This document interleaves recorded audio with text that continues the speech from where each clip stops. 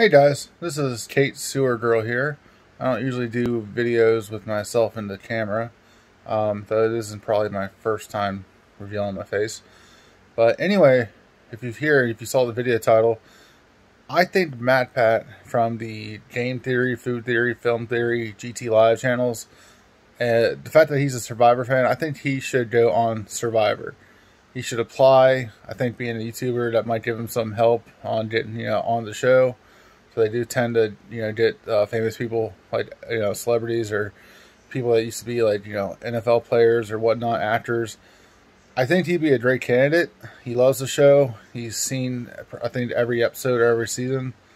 Um, if you guys think he should go on there, definitely, you know, let him know, comment on his channels, and let him know that Kate from the channel Kate uh, underscore Suhrgirl uh, said to you know, said to send you there.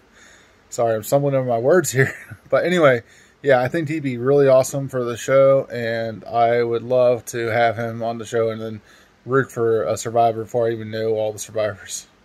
Usually it takes me a couple episodes or so to find the one I really like and start to root for, but if Matt MatPat goes on the show, I'd be rooting for him right away. I think he'd be really awesome if he goes on the show. Um, yeah, uh, anyway, just let him know, guys, and hopefully, you know, even CBS, hopefully they see this and, you know, they'll uh, let him uh, go on the show. All right. Thanks, guys. Peace.